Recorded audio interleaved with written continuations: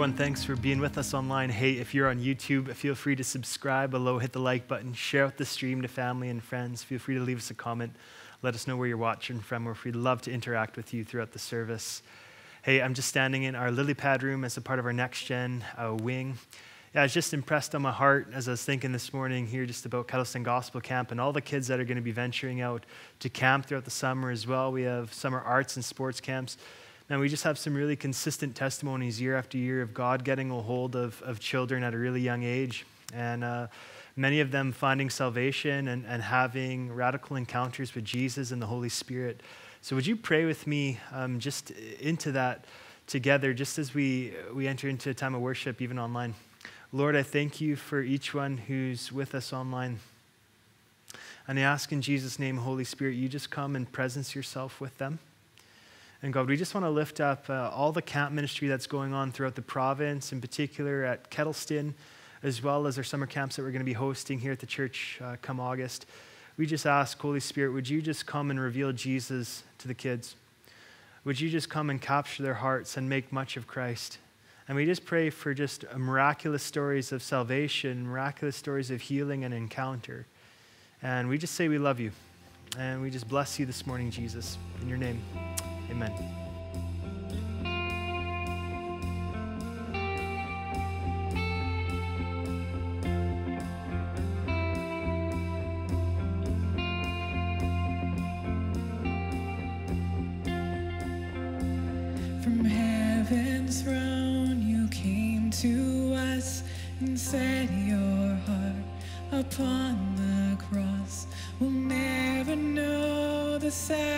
Sacrifice you made. For all our sin and all our shame, you took the nails and took our place. No one else could do what you have done.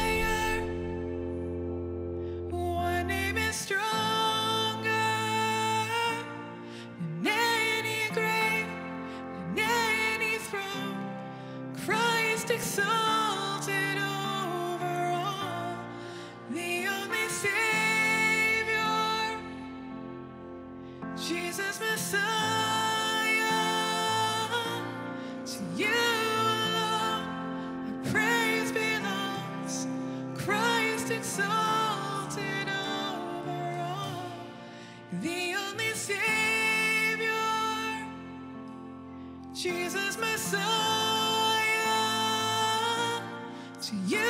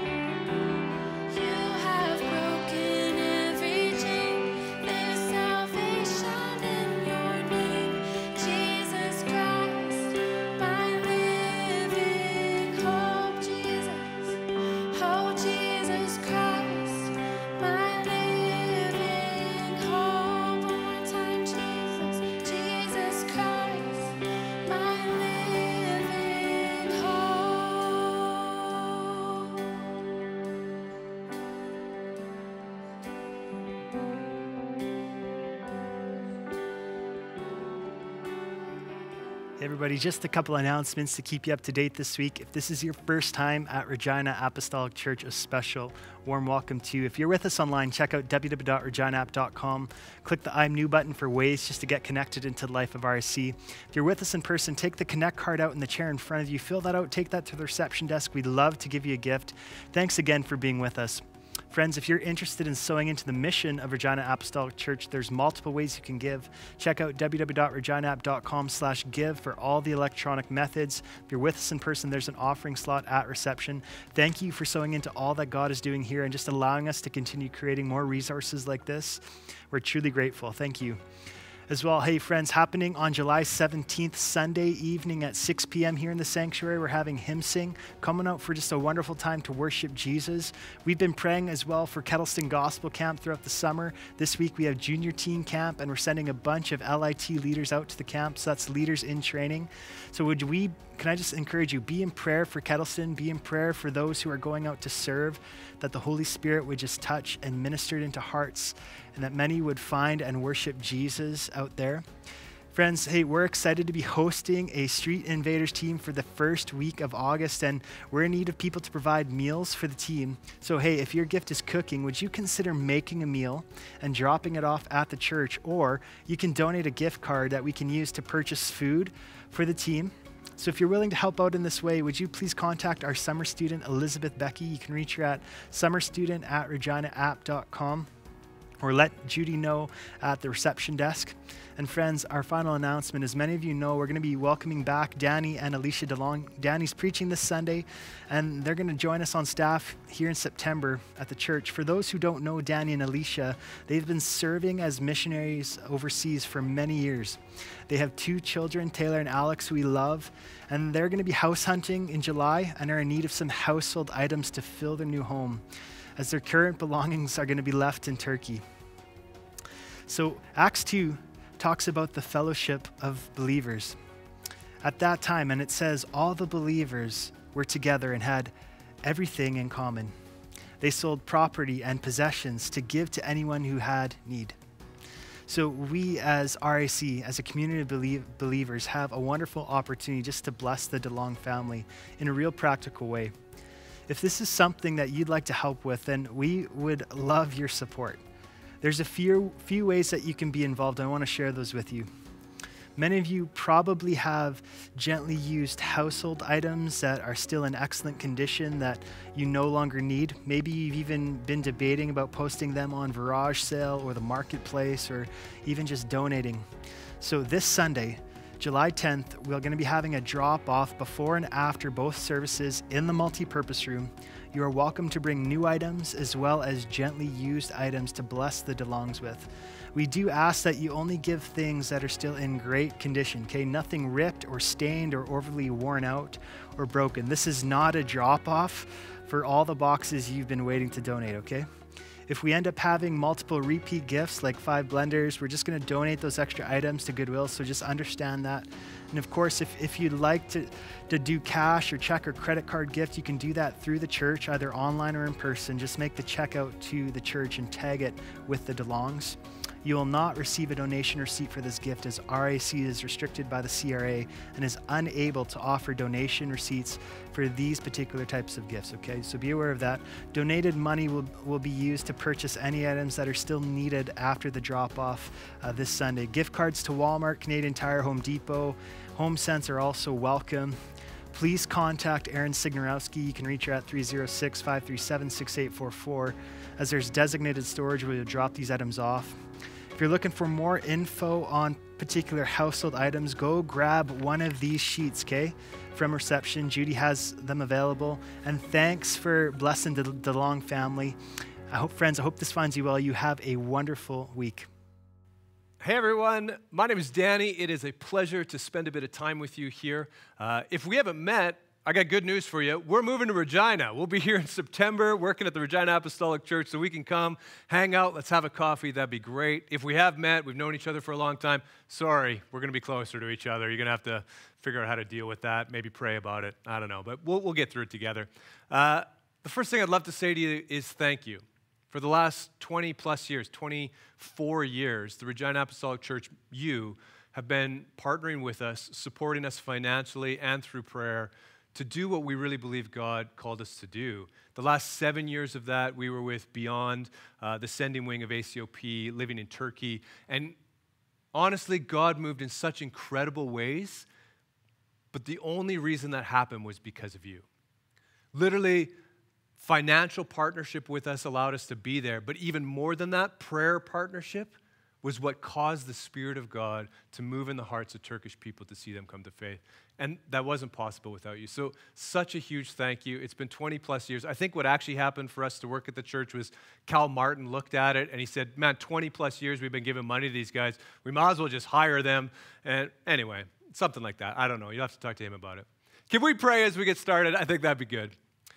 Hey, Jesus, it is so cool that you're hanging out with us. I mean, you got lots of places to be, more important than this, but you choose to hang out with us. And I don't even understand that really, but I know you love us, and that's amazing. So please come speak to us this morning through this. And yeah, we just want to say thank you for, for loving us. We love you too. Amen.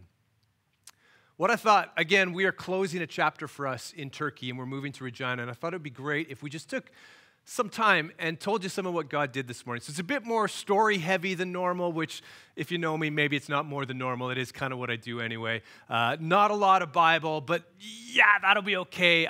You know, I'm a missionary, so missionary stories what missionaries do. So we're going to take some time this morning and just tell you a little bit of what God did, and, and then I hope we can wrap that up into a little Bible point at the end. Does, is that okay? Can we go with that? Uh, the title of this sermon this morning is called The Masterpiece, and so I thought it'd be great if we just you know, did a little painting this morning together and, and tried to create a masterpiece of what this is together. Uh, if I can tie my smock, it'll be good. Hold on, it's coming. There we go. I got some paints. I'll paint a picture for you this morning. Again, uh, I thought it'd be good to tell stories, but again, maybe some of you don't know me very well. So, just as way of introduction, uh, who is Danny DeLong? Well, I have this like sort of insatiable need to be known as a good communicator. It's not healthy, uh, but it's true about me. I want people to think I'm very funny.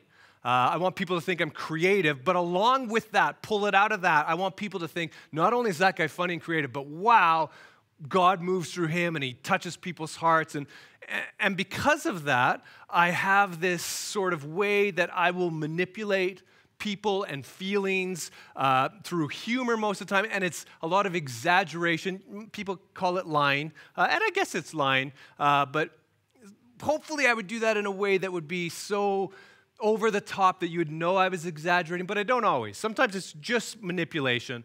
Uh, and I tell you that because I think it's important. Again, we're telling stories this morning that you would know kind of who I am. And, and that's true. And it's a terrible thing about me, and I try to control it, but it's just an insecurity that I have. And we all live with insecurities. Uh, I would say another thing about me I'm a, I'm, a, I'm a guy who, you know, when the going gets tough, I do really well. You know what I mean? When all things are going crazy, haywire around me, I'm like calm and I, am level headed and I actually make pretty good decisions under pressure. Uh, and so, along with that part of my personality, I would say over the last several years of this pandemic, I have struggled with my mental health. And that actually shocks me, as again, this person who I think is quite level headed and just easygoing, really is a better way to put it. But man, if I'm honest with you, it's been a rough couple years for my mental health. I've had thoughts that I never thought I would have, uh, and and I'm surprised about that. Maybe some of you are looking at me and going, "I'm not surprised about that. I knew that about you a long time ago." But but if I'm honest with you, it's been surprising. Uh, another thing for those of you who don't know me, I'm fully uneducated. I, I, I, mean, I graduated high school, but I've never gone to Bible college. I never went to university of any kind. I took a few courses online, but I mean, what's that? I guess everyone's doing that now. But back when I did it, no one did it. And along with my lack of education, I'm super opinionated. Uh, just the best kind, right? Have no training or knowledge, but have an opinion about everything. That's a little bit who I am. Uh, along with that side of it is I would say I love that I'm not educated. I wear it sort of as a badge of honor, like I'm outside the system of education, so my opinion's better. In case you haven't noticed, another thing I struggle with is pride. Which you might think is crazy. This guy who doesn't have education, who struggled with his mental health for the last number of years, would still struggle with pride. Yeah, yeah, it doesn't make sense, uh, but it is who I am. Uh, last thing I would say to you is I, I struggle to hear the voice of the Lord. Does anyone else struggle with that? What you'll probably hear me say this morning, because I say it lots of times when I preach, God told me this, or God said that. And that's just Christianese way of saying, I hope and I think that I heard from God, but I don't really know. And again, it's a bit of a manipulation thing. It's, it's a bit of way of me saying that, uh, you know, I'm more spiritual than I really am. And I do it a lot. I don't want to do it because it's become so normal in my life, like this sort of Christianese way of talking, it just sort of comes out. You guys like this? This is who's talking. If you're still watching this morning, I think we're going to have a good time. Uh, so, here, let's start with a Bible verse. Uh, if you're with us, it's James chapter 5 and verse 17. It says this Elijah was a human as we are. And yet, when he prayed earnestly that no rain would fall, none fell for three and a half years. Elijah was a human as we are. And I think we read that and we look at it and we think, yeah, Elijah had skin. Elijah had, he bled when he cut his hand. He, you know, he walked. I walk. you know, yeah, he was like us. But th- that's not what this is saying. It's saying Elijah, just like Danny, struggled with hearing the voice of God. And you might think that's crazy. He heard God's voice in incredible ways, and yet there's a portion of scripture where he was trying to figure it out, a lot like me. And uh, you might think, well, Elijah, you know, he's, he's not like me. You don't know me. I mean, I'm a mess. I actually think what this is saying is Elijah was a human just like us. In all those ways, he was a mess. He's a mess like you are. And yet, when he prayed that it wouldn't rain, it didn't rain. Like God heard his prayers. Now, that's the backdrop, and uh, let's get into some stories. I think that's the best way to go. So, we moved to Turkey, and our goals were this just a simple goal to see Turkey saved. There's 80 million people. That was our goal 80 million people. And so, with that, we thought, how could we do this? Like, what could happen that would make it possible to see the country of Turkey saved? And we thought we could plant a church, uh, and maybe in seven years, we could see 50, 60 people come to faith and, and come to our church. And actually, that would be incredible. It would be one of the largest churches in Turkey if that ever happened. There, there's 80 million people and around 4,000 Jesus believers in the whole country. And so, again, if, if say maybe 100 came to faith through what we did, that'd be exciting. And yet, it wouldn't keep up with the population growth of this country. And so there would actually be negative church growth even within that. Maybe that got a little technical. The point is, we thought if Turkey's going to be saved, just planting a church of 50 people is not going to do it. We need something else. We need multiplication. So, what we wanted to do was see people come to faith and immediately place a DNA within them that they would want to lead others to faith. They would disciple others. We would disciple people in a way that would allow them to lead their friends and family to Christ, which would then allow those friends and families a DNA of leading their friends and family to Christ. The goal wasn't one church, it was multiplicative churches. That's what, we, that's what our goal was. And so we had a website. Our website uh, gave out free New Testaments. Sorry, I need another color of paint. Uh, free New Testaments, and uh, you could you could sign on. You could come and search for a New Testament, and and you could order a free one. And there's this guy named Ozger. He ordered one from us. He lived in a city about the same size as Regina, and zero churches in the whole city. None. As far as we knew at that point, there were no believers. I actually found a secret believer a, a few years later, but at that point, there's no believers in the whole city. And Özgür orders a Bible from us. Just in terms of context, last year we gave out 24,000 New Testaments, which you're thinking, wow, that's incredible. And on one level, it is incredible. Like, that's a lot of New Testaments, definitely. But what I would say is if we gave out 24,000 New Testaments every single year, it would take over 3,000 years for that 80 million people to get a New Testament. And I'll tell you, in 3,000 years, most of those 80 million people are going to be dead. No, probably all of them, right? Uh, so it's nowhere near enough. That's why the idea of multiplication needed to be at the forefront of what we were doing. Anyway, Oscar orders a Bible from us. We sent him a text message that says, Hey, heard you ordered a Bible from us. Wondering if you'd like to meet. We could teach you how to read it. We could show you how to read the Bible. And his reply back was, I would love that. Please come to my city. And so we drive up to his city. It's a couple weeks later. We get there and uh, we meet with Oscar. We're sitting down in Starbucks. And we say, Hey, did you start reading the Bible? And he's like, Yeah, I finished it. We're like, What? He's like, Yeah, yeah, I got it a couple weeks ago. That's lots of time to read the New Testament. We're like, uh, Yeah, that's lots of time. Yeah. So, do you have any questions? And he said this, Well, it didn't work. Like, well, what do you mean it didn't work? He said, Well, I read the whole thing, but like, I'm still the same. Nothing changed in my life. And this is a mark that I think as Christians we believe, but it's not actually true about the Bible, but it is what Muslims believe. Muslims believe that the Quran is a holy scripture from God. Now, we believe that about the Bible, of course, but what they believe is the words themselves have some sort of power. And just reading the words is enough to change your life because the words are God's words. Now, you might think, yeah, that's what I believe about the Bible, but it's not actually true about the Bible. What is true is the Bible is a light that shines on a path to God. Now, that doesn't mean you get to God because you have to walk up the path. So, the Bible is a book about a lifestyle, and you need to apply what the Bible says to your life to get to God. Does that make sense? It's not magic words that you just read. And sometimes we say that, like, if you just read the Bible, you'll get through it. And you could read the Bible back to front and nothing would change in your life. Now, there are times where you read a verse and it's just like God speaking to you and your life changes. Of course, brilliant. Not really what I'm talking about though. There's times, you've probably done it, I'm really low. I should read the Bible. And you do, and you feel worse at the end. It's, it's not a magic words book. It's a book that's a lamp to a path to God. And you apply it to your life, and your life changes. So we say this to Özgür. You know, it's not the same as the Quran. It's a different type of book. The style's different. You, you need to actually apply it to your life. And he said, Well, how do I do that? And so we said, Well, why don't we do a Bible study together right here in Starbucks? And we'll show you how we do that. And we have an app, and so he downloads the app on his phone that kind of teaches you how to do that. And we do a Bible study. And in the Bible study, we ask four questions. Question one What does this portion of Scripture teach me about God? Question two, what does this portion of Scripture teach me about man or humanity? Question three, really important question. What do I have to do to obey this portion of Scripture? And we write the answer down. And we say, you have to, if you want to follow the Bible, if you want to see what this book has to offer, you have to do what you think is obedience to this Scripture. And the fourth question is, who do I have to share this with this week? Another important question that lots of Christians don't like to do. Uh, but the reason that's important is twofold. One, the Bible commands you to share with your friends and family, so that's why it's important. But the second reason is to actually learn something. You know, you just hear words, you're not going to learn much this morning. Let's be honest. You're not going to remember much of this talk this morning.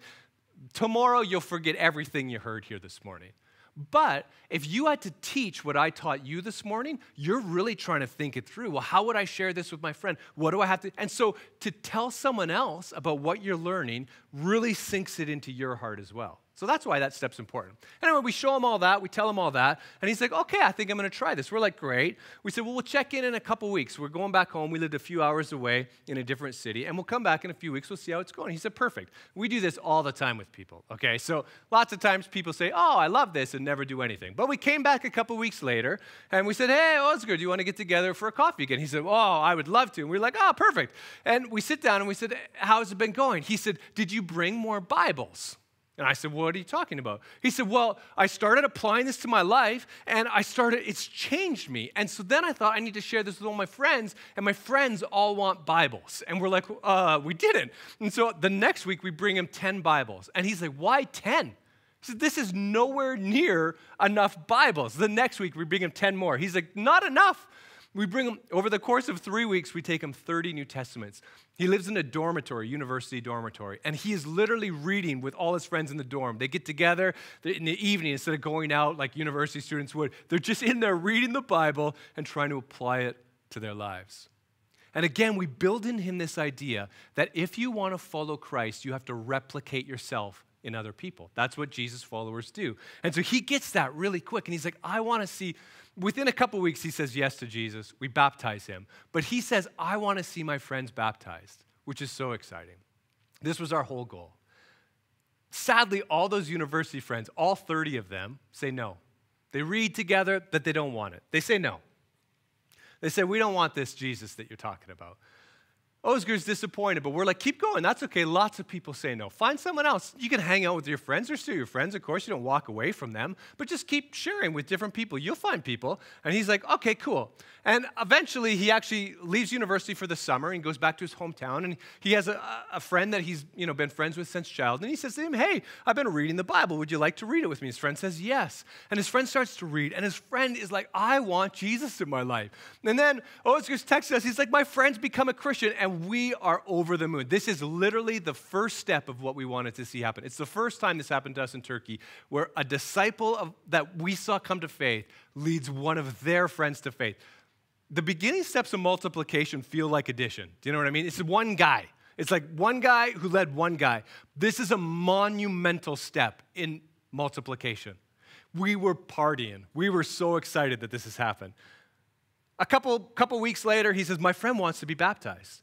And we say, You're going to baptize him. He said, Please come out. We said, We baptized you. We showed you how to do it. The Bible clearly says that you will baptize.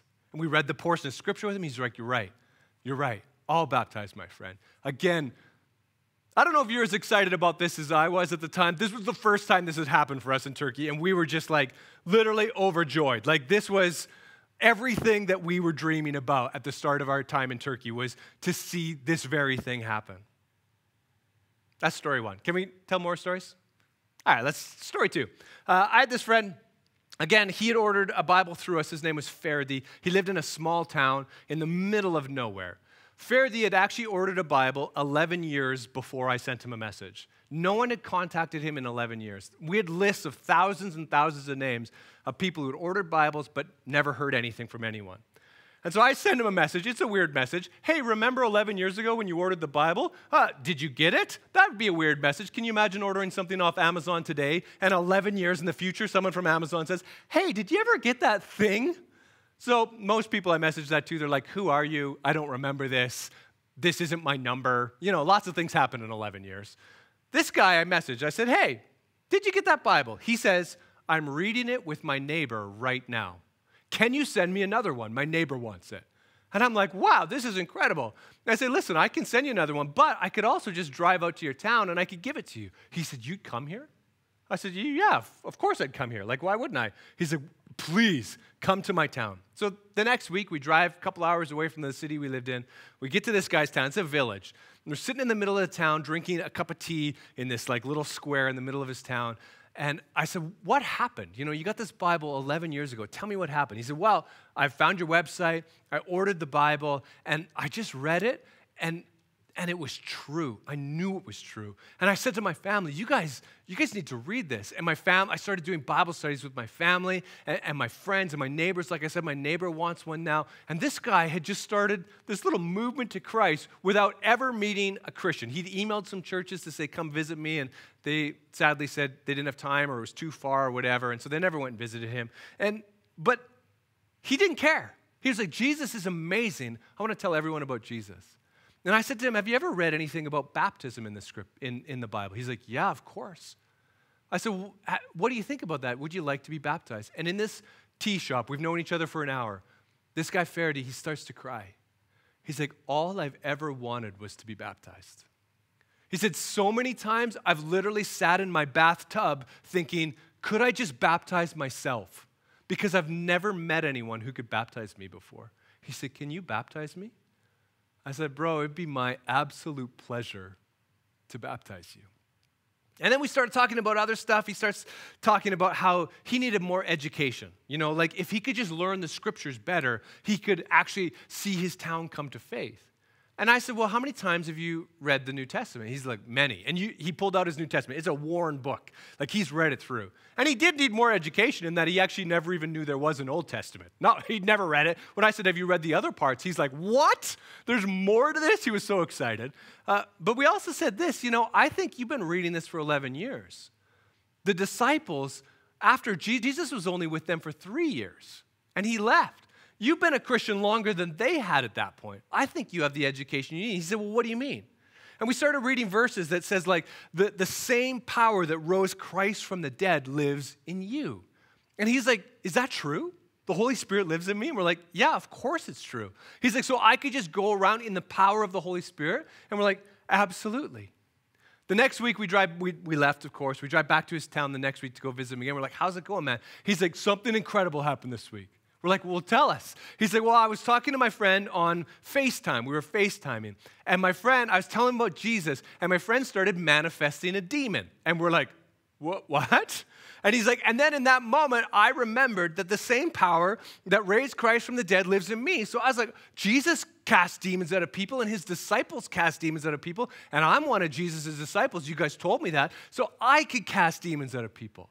And we're like, yeah, okay. And so he's like, on FaceTime, I just looked at him and I said, in the name of Jesus Christ, out. And the demon left. And I don't believe my friend Ferdi. I'm like, okay, yeah, that's a fun story, but that's obviously not true. He pulls out his phone, he'd recorded the conversation, and it's literally what happened. This guy, with one moment of empowering, sees the Holy Spirit use him, literally starting to transform his entire village for Jesus Christ. Let me tell you one more story. This is my favorite one. So if you if you're checking out, check back in. This is the best story we got. Hold on, I need more paint. Purple seems like the color I'm not using enough. So, we go to this town. It's called Fethiye. Okay? It's a gorgeous little town. It's right on the Mediterranean Sea, zero Christians. Just beautiful. And there's this guy there, his name's Emre. Emre had ordered the Bible three years previous. And when he got the Bible, again, just like Ferdi, he read it and he's like, Jesus is the answer to all the things in my life. And he starts to live out a Christian life. And because he did that, he lost his job, he lost his family, he lost his friends. He ends up living on the streets for six months. And he says to me when we meet him for coffee, he says, In that moment where I was on the streets, I had nothing but the clothes I was wearing, and he said, I have my New Testament. And he said, Jesus was enough for me. I'm like, Who are you, man? Who are you? And so then we start talking again. We talk to him about baptism. He's like, Please baptize me. Three years he'd been a believer and he'd never met another Christian. And we're like, We'd love to baptize you. And he's of course, he lives in this smallish town, a little bit bigger than Regina, but in Turkey it's small, and word spreads really quickly. So everyone knew that he wasn't, uh, that he was a Christian and that he'd made these steps. So it was hard for him to find a job. So he's kind of getting day labor work, and, and that was it. He couldn't find any other work. And so at the end of our couple hours together, we said to him, Is there anything, any prayer requests you have? And I was sure it was going to be for money. And I'm thinking, Should we give this guy money? Like, what kind of thing? And he said, The only prayer request I have is that there would be a church in my city. And we looked at Emre and we said, you know, Emre, the only way that's going to happen is if you keep telling your friends and family about Jesus Christ. And he said, listen, I tried that. Three years ago, I did that, and I ended up living on the streets. Like, it cost me everything. And we're like, I know. But I think you might have to try again. And I don't want to tell him that because that seems really hard. And he's like, I don't know if I can. And I'm in my heart, I'm like, good. I don't think you should either.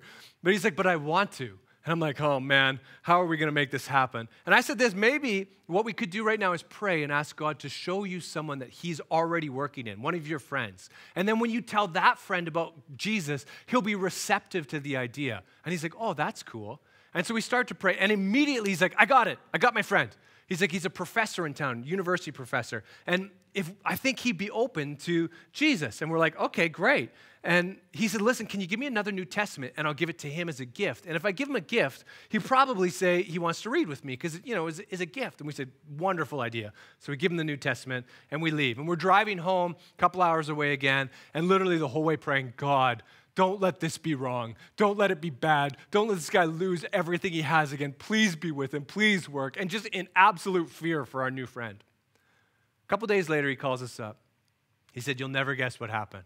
We're like, What? I have no idea. And he said, Well, I was too scared to share. And we're like, Good. I was too scared for you. And he's like, Listen. He's like, This morning that guy called me up, the professor. And he said to me, He said, Ferdi? No, Amra, confusing the names. He said, Amra, do you have a book about how to follow Jesus? And I'm like, what are you talking about? And he's like, last night I had a dream that you and Jesus were sitting under a tree. And Jesus said to me, Emre has a book about how to follow me. Get it and follow me. And Emre's like, Yeah, I got it two days ago. And he said, We're sitting in a coffee shop right now. A church has started in our city. We're reading about Jesus. We're following Jesus. Pretty cool. Can I read this scripture to you again? James chapter 5, verse 17 says, Elijah was a human as we are. And yet he prayed earnestly that no rain would fall, and none fell for three and a half years. All these guys, us, they're just like Elijah. Just like him. And what I want to encourage you with is you have that same power. But some of you are thinking right now, some of you are excited about this. Okay, I'm going to go out, I'm going to share. I, am excited. God moves, He can move here. And some of you just hearing this are discouraged because you know your life's a mess. And you don't believe that Elijah's the same as me or is the same as you. You look at your life, you're like, no way. And these other guys, I mean, they took steps of faith. Elijah's not like you. What I would say this is I've curated all these stories for you. They're only half true. You see, the first story, the first story about Oscar, right after he texted us, I just baptized my friend, the next text said this Does it still count if I baptized him when we were drunk? I've never had that as a discipleship problem before. I didn't even know how to answer that. I mean, try to go to scripture for that. I don't know. What do you mean? He's like, we were too scared, so we just got drunk and decided to do it. Problem, it's a bit of a mess. That second guy, Ferdi, in that small town who had literally cast out demons and seen like his neighbors coming to Christ, I haven't talked to that guy in a year and a half. He met a woman, moved to another city, and is now living with her. I mean, I've texted, I've tried, but I don't know what's happening. The university professor guy, the guy's having the dreams. I'll tell you what, in that city, way more people started having dreams. About a year ago, they stopped talking to us. I actually believe that it's the start of a movement that will see Turkey saved, but I don't know. I, I don't even know what's happened with them. I'm not even sure why. We've tried so many times to get in touch with them, but these stories are a total mess. They're your life. Can I read you one more scripture? This is Ephesians chapter 2 and verse 10. It says, For we are God's masterpiece. For you are God's masterpiece. He has created us anew in Christ Jesus so we can do good things He planned for us long ago. You read that scripture and you're like, well, that's not true about me. I'm a mess. I'll tell you this stuff about my friends, they're a mess. My life, it's a mess. And I started thinking about this scripture. You know what a good masterpiece is? It's not something that's neat and clean. You read a novel. If a novel's just got no conflict, it's just you have this wonderful character who's perfect, and throughout the book, everything just works out. That's not a masterpiece, it's a child's book. What's a masterpiece is this person has great tragedy or conflict or, or personal failure, and they work through it, and then something out of the end is created and it's beautiful. You watch a movie, if, if nothing bad happened in that movie, it's not a good movie. A masterpiece is one where someone comes out of the fire and they're changed and they're new and they're created different. So, your life being a mess, that's the masterpiece. See, God takes the weak things of the world, us, the mess, and turns them into a masterpiece. That doesn't mean that going ahead, you're not still a mess. It does mean that you are beautiful. My kids, they would paint when they're six years old. It's terrible. And you know what I did? I hung it on my fridge because I was proud of it. Because to me, it was a masterpiece. You, you're a mess. And Elijah was just like you a mess. And God looked at Elijah and he said, You're my masterpiece. God looks at you and he says, You're my masterpiece. Can I show you the masterpiece I created this morning? It's a masterpiece. I mean, if you could turn that into something good, you're an incredible artist. God would look at this and he'd say, I'll take this. Let's be honest, it's terrible. And I'll turn it into something amazing. God wants to take your mess and make it amazing. Can we pray this morning just to wrap this up? Father, we're a mess. I mean, you know it, you know everything about us. It is so hard for me to believe that Elijah's like me. And yet you said it, he was. And you used him in, I mean, he raised people from the dead. I pray that you would take our messes and turn them into masterpieces. Pray that you would take all this jumbled up junk that we've taken and turned our life into and turn it into what good you have. Use us. I thank you that you're proud of us, that you're hanging our mess up on your fridge and you're saying, I can use this. I can make it a masterpiece. We love you, Lord. Amen.